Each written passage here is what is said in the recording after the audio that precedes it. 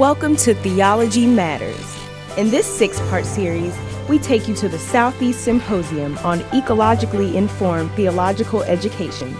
The symposium included plenary, panel discussion, and breakout sessions on the emerging field of religion and ecology in seminaries and theological schools. We begin with the plenary presentation from Dr. Marshall Shepard of the University of Georgia. The event was held at Columbia Theological Seminary. Yes, GIPL's office is right down the hall, so I hope while you're here for this conference, and also to those in the Columbia community beyond these couple of days, uh, come on down to my office and let's uh, continue the conversation about creation care. And I think tonight's presentation will definitely provide lots of food for thought uh, because that is what Dr. Shepard is best at in my um, three years of knowing him. Given that this is an academic conference, I can assure you that Dr. Shepard comes well credentialed for the tasks tonight. He holds three degrees from Florida State University. He is a professor at University of Georgia and director of the Atmospheric Science program there. Uh, he is the past president of the American Meteorological Society. He was previously a scientist at NASA. He has done incredible research in the field of meteorology and climate change. And again, since it is an academic conference, I know that academics like to hear about the research, and I feel like these are uh, good $5 words that can get us going tonight. But in his research, he seeks to understand aspects of Earth's hydrometeorological and hydroclimate systems such as rain, precipitation. But he'll also be quick to tell you he is not a forecaster, he's not the weatherman, and that's how most of us interact with Dr. Shepard's former students and colleagues in this work. But he'll be quick to tell you he is not a forecaster and he doesn't research this for the purpose of telling us is it going to rain on our wedding day or on graduation. That's not his job. But what he is interested in is how other systems interact with climate change and are impacted by climate change and these weather systems. And that is where, as a simple pastor and lover of God's earth, I encounter his work because he is committed to bringing his research into people who sit in the pews people who stand in line at the grocery. He engages with folks from all walks of life, and he encourages his students in his artistry as a teacher to do the same. That it is a conversation, the conversation about climate change needs to be happening beyond, the labs and the halls of scientific inquiry. And that is why he is the perfect lecturer for us tonight and conversation partner because he, he does some of his best work during the Q&A session, I find. Uh, so, as we think tonight in his, uh, with his guidance, what are the social, environmental, theological implications of climate change? And we can be in conversation with the science of climate change and weather systems. So, Dr. Shepard, thank you for being here. Thank you. Can you hear me? Is it, is it, can you hear me okay? Thank you. And, you know, you know, I, I can't, uh, I couldn't turn down this opportunity because uh, I often say that uh, if scientists aren't out there speaking about this topic, um, there are certainly people that are willing to speak about it and, and, replace that with misinformation. So if we aren't out there, who is? And thank you for that introduction. It was very kind. Uh, I, I, make it a habit of hanging out with people with their own billboards. So I don't know if you know, but Reverend Morgan. Kate's actually on a billboard, or it was. I don't know if it's still up, but it's just showing her great work here in the state. So it's an honor to be introduced by her. Um, I want to start out the first of all, the title might be provocative, and I actually said a little prayer before I came in here because uh, I'm using the word zombies, and I actually gave. Uh, we talked about. It. I was like, is that going to be okay to use that? Because I promise you, there's an analogy in there, and it really, uh, uh hopefully, works for you. But um, this is a topic, and I promise throughout this talk zombies, cola, and sports. It'll all kind of get in there by the end of this 40 minutes or so. So uh, we'll, we'll make that as a task. I want to start out with this picture here. This is the road leading from Savannah to Tybee Island. And it's flooded, it's underwater. And it's underwater not because there was a hurricane, but that's just a king tide. regular king tide day. And uh, people in that area said they really haven't seen this too often, but it's happening more frequently. Sea level rise is a consequence of climate change. So, what I'd like to talk about tonight is the notion of our perceptions about climate change, even extreme weather events in the context of climate change, versus reality. That's a topic that really has been on my mind lately. Uh, I will say, let me just kind of get all of the, um, you heard some of my background. So I am a professor at the University of Georgia and before that at NASA. Um, most of my research involves looking at rain, uh, hurricanes, uh, uh, those are the aspects of the hydroclimate, severe storms, et cetera, trying to place them in different contexts as it relates to both urbanization, climate change, and other factors as well. Um, most of my research grants are funded by NASA, the U.S. Forest Service, Department of Energy, and so forth. Uh, I have an endowed professorship from the University of Georgia as well, so I should go back here quickly and you'll see this Distinguished Georgia Athletic Association professorship. Uh, often people see that and say, wait a minute, I thought you studied weather and climate. What do you know about athletics? Uh, well, like the IBM professor of computing or the Coca Cola professor of business at the University of Georgia, the Athletic Association is actually a separate entity. It kicks over about $12 million to the university for a couple of endowed professorships. And I happen to have one of those endowed professorships. And so it's a really neat gig so, uh, to have, you know, because it actually also helps fund some of my students and my research agenda and program as well. So back to perception and reality here as we kind of launch into things, and launch is a pun because I did work at NASA. Uh, looking at this little picture here, it's not necessarily clear what we're looking at. Uh, but in reality, what we're looking at is a picture of our former president, George Bush. Now, there's actually no message in the fact that I chose President George Bush. It just worked that, that with this particular picture. But the, the point is, the paradigm is needed to move us beyond this notion of perception and reality in science. And before I even launch into the climate change discussion, take a look at this graphic from the American Association for the Advancement of Science, or AAAS, the leading science society in the world. And what I draw your eyes attention to is all the blue. Because all the blue is the difference between what scientists think about a scientific topic versus what the public thinks. And on climate change, 87% of scientists believe that humans are contributing to changing climate, but only 50% of the public does. How did we get there? That 37% uh, see something else. So I want to turn the volume down. This is actually, I was at, I chair NASA's Earth Science Advisory Committee. So I was just in Washington, D.C. last week. And while I was there, I saw this really cool new visual, and hopefully it will keep playing for us. Uh, we'll keep get it one more time here because it's really cool. And this is the 2017 hurricane season from the vantage point of NASA's satellites and modeling capacity. And so what you'll see, just we can just geek out on this for a second because I, uh, I, that's a little term because I host a show on the Weather Channel every Sunday called Weather Geeks. And so we have this term and segment called Geek Out segment. But look at the different hurricanes that you see. Here comes Hurricane Harvey uh, moving across the ocean. Uh, it's going to make landfall in Texas and then sit there for five days and dump about 48 inches of rain over Texas. Houston, Texas got in five days 48 to 50 inches of rainfall. Their total for the year on average is 34 inches. They got that in five days. Here comes Hurricane Irma, which we know impacted Florida. Look at all the dust that comes off of, Florida, uh, uh, off of Africa there. If you uh, cast your eye on parts of Spain, the Iberian Peninsula, and even parts of northwestern Canada, you'll see wildfire smoke every now and then.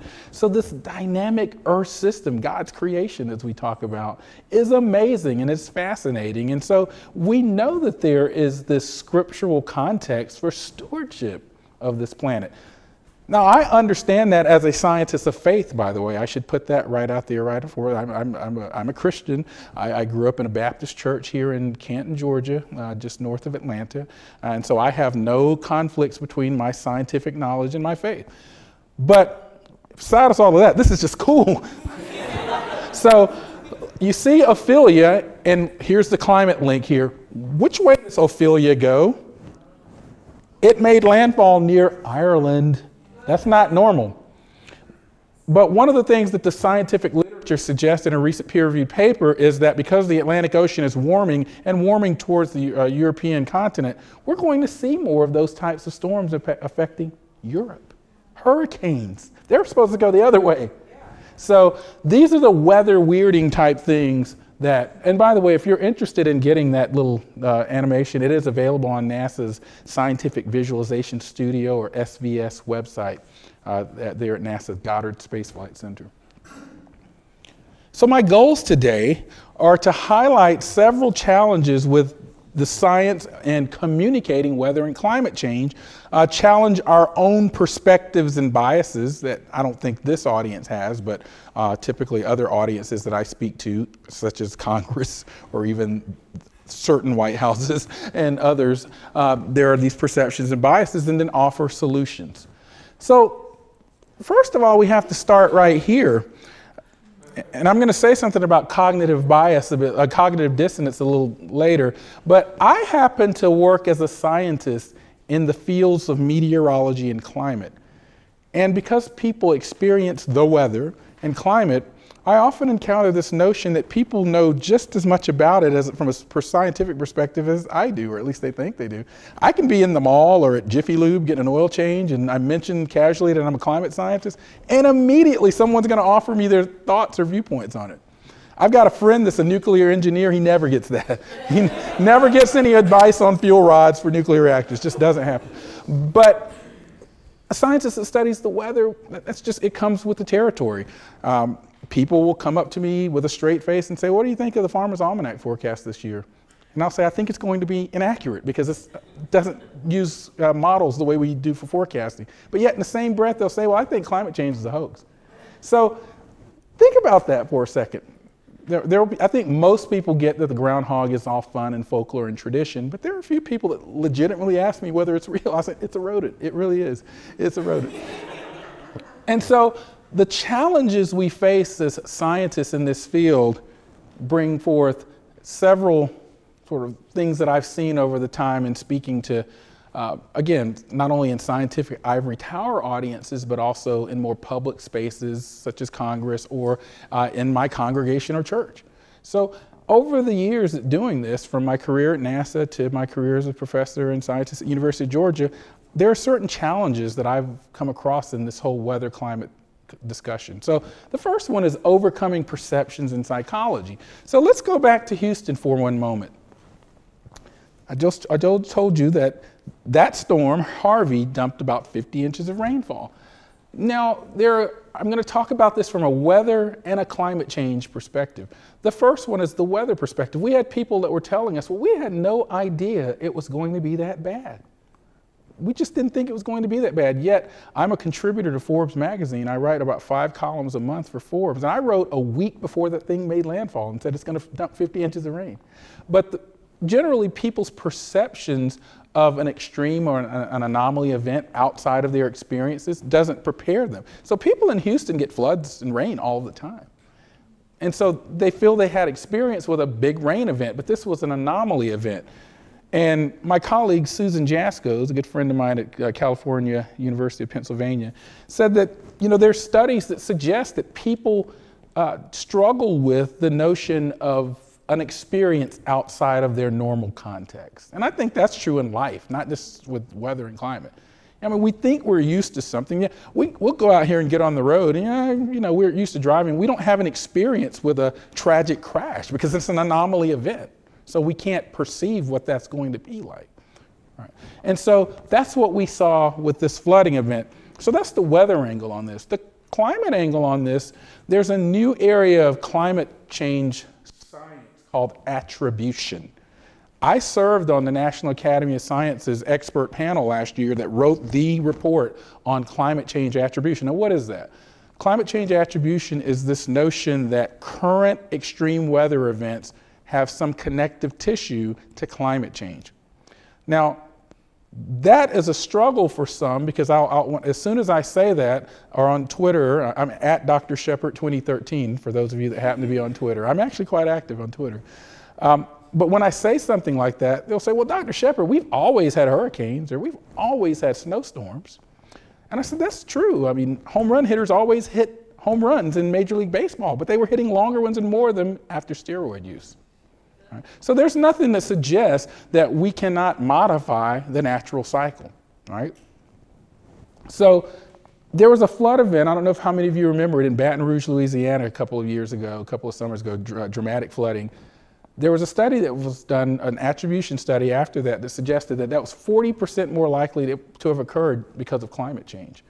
Anybody know the logic behind this? We, we in science talk about something called an accelerated water cycle. Now, we learned about water cycle in fourth grade. My, my son, who's in fifth grade now, can rattle it right off precipitation, condensation, run off. You, the kids are cute, they run it right off.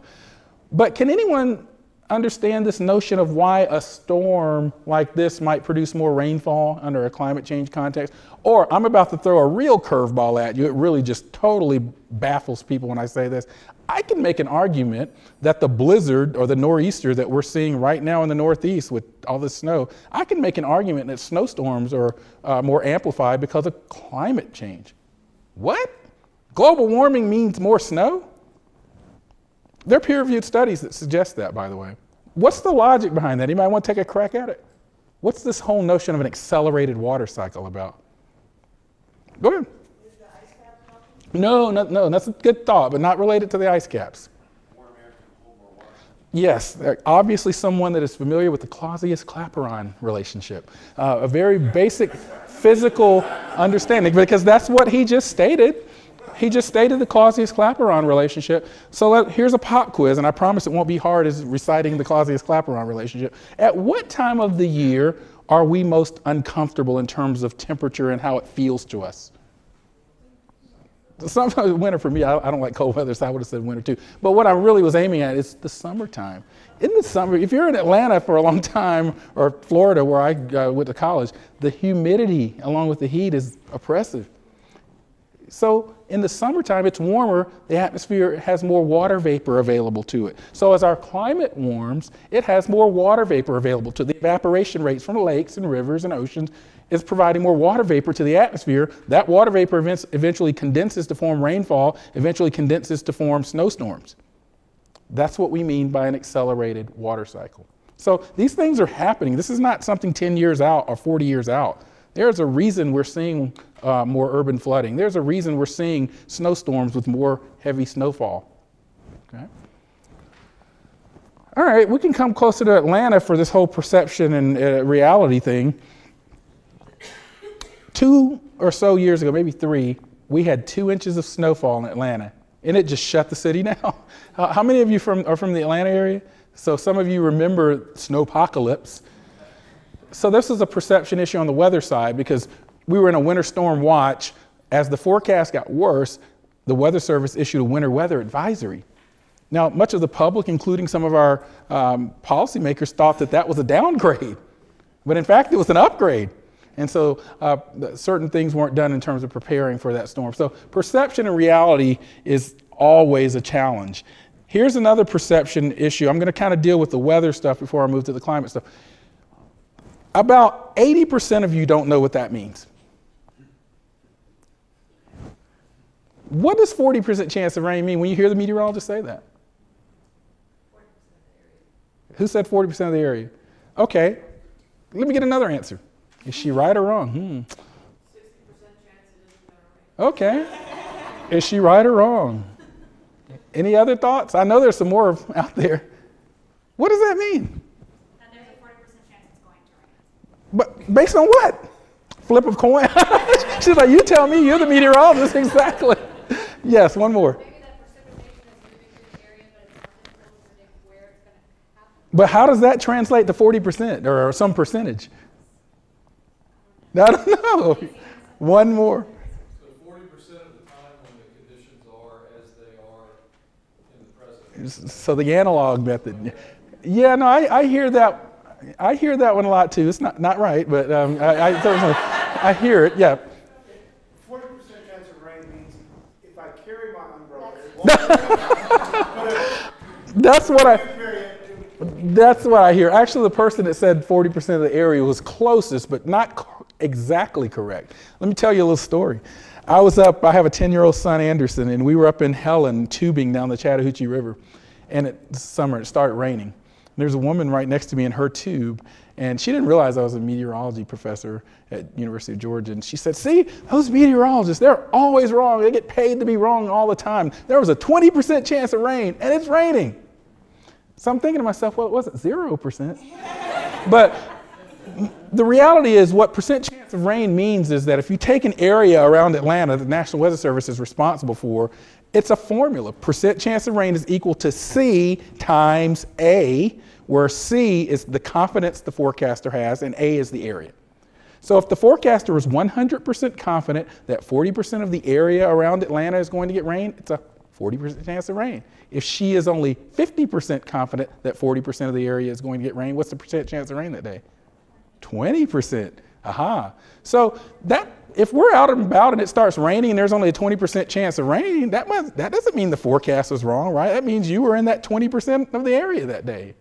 So help me erode this notion that meteorologists are wrong just because people don't understand what percent chance of rain means. So hopefully you all know. Now, zombie theories. There's one of the words, zombie. I just call these weather and climate zombie theories, you know, these theories that have long been refuted by scientists, but they kind of live on in public folklore or they just kind of live on. And so, you know, for example, one is that it doesn't get cold in deserts, right? People think that it doesn't get cold in deserts.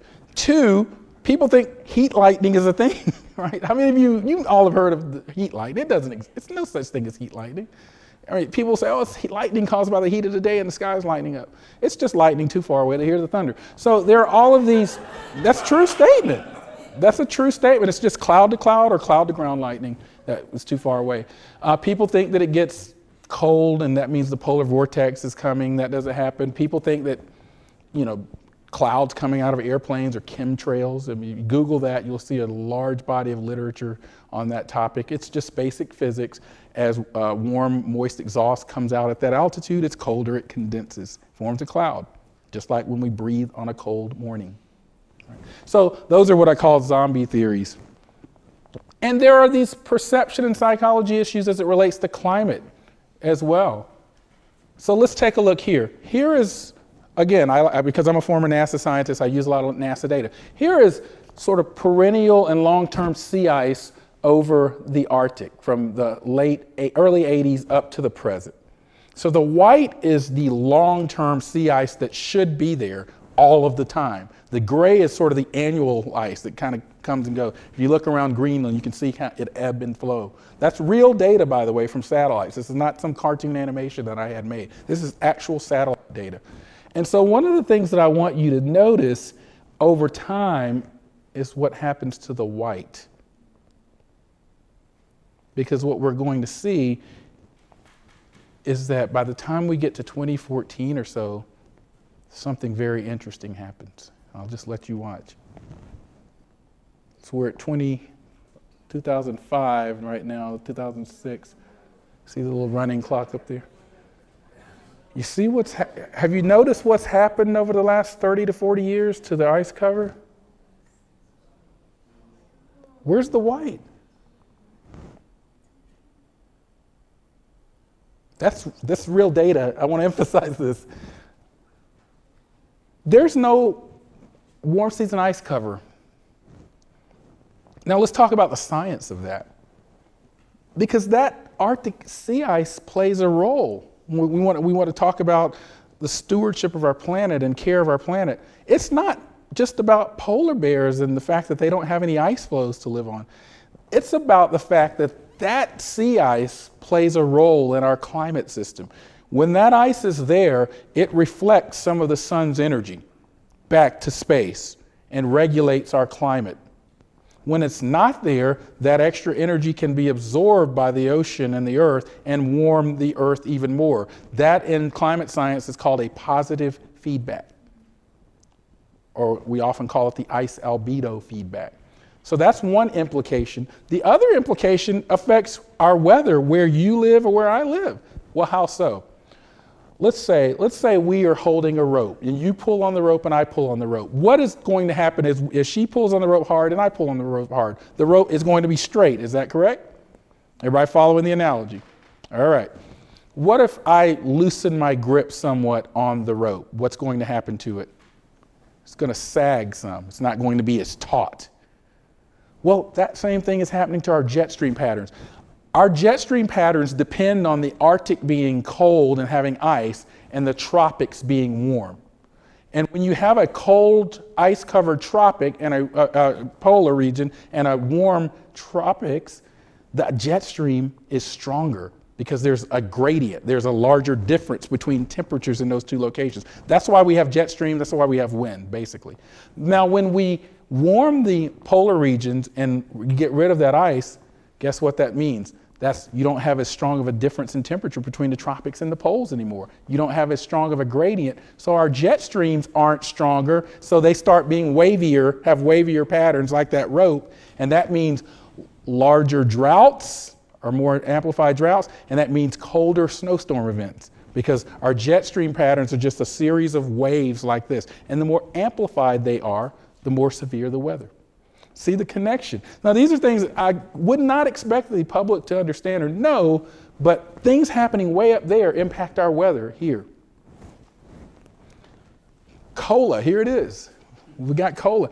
So it's not just about polar bears, climate change, it's about our kitchen table issues in life. That's, that's a message that I try to deliver in any public space. Because look at what Jeff Seabright, who's the former um, VP for Environment at Coca Cola here in Atlanta said. He says increased drought, more unpredictable variability, 100 year floods every two years.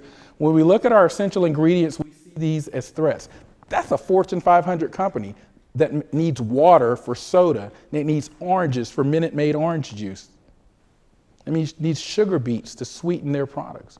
And they see the exposure to these. So there is a kitchen table issue that cannot be denied. And that's a narrative that we must continually share um, with our friends, our families, our congregations, our students. Kitchen table issues. Just this year, 2007, I don't know if you noticed this, but after Hurricane Harvey, gas prices spiked. Why did that happen? Because most of the oil and gas refining capacity for our country is in Houston.